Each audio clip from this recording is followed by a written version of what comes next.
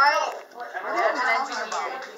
Because you're saying it's not good to be accurate. You're saying I'm taking too long being accurate. No, you're just making trying to make it realistic when it doesn't need to. It needs to be accurate. That's, that's totally different thing.